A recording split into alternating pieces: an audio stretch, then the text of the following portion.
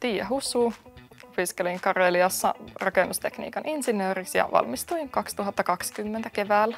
Kiinnostavimpia asioita koulutuksessa minulle itselleni oli ehkä suunnittelupuolen kurssit.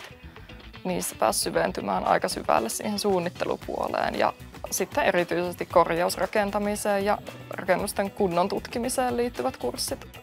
No, opinnoissa on ehkä yllättänyt eniten se, miten monipuolinen rakennusala kokonaisuudessaan onkaan. Että opintojen edetessä, niin siinä sitten alkoi havaitsemaan, että minkälaisia erilaisia mahdollisuuksia on.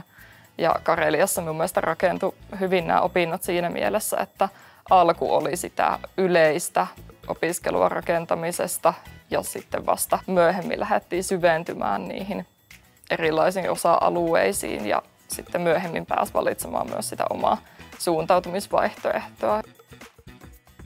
Tällä hetkellä minä työskentelen tässä Joensuussa insinööritoimisto 2 KOYllä.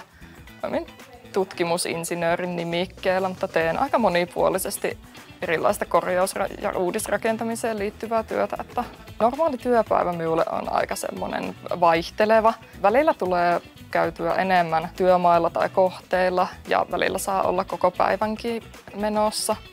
Mutta sitten on myös niitä päiviä, kun istutaan lähinnä toimistolla joko kirjoittamassa raportteja, että aika paljon semmoista kirjoittamishommaakin tässä työssä pääsee tekemään. Olen itse tykännyt siitä, että on semmoista vaihtelevaa, että pääsee tekemään vähän monenlaista ja monenlaisissa ympäristöissä. Että myös tämä koulutus sopii sekä semmoiselle henkilölle, joka on enemmän semmoinen teoreettispainotteinen, mutta sitten sopii myös semmoiselle henkilölle, joka on enemmän käytännönläheinen. Hakijalle minä ehkä haluaisin sanoa, että lähde vaan rohkeasti kokeilemaan rakennusalaa, vaikka et ehkä aluksi uskoisi, että se voisi olla sinun juttu.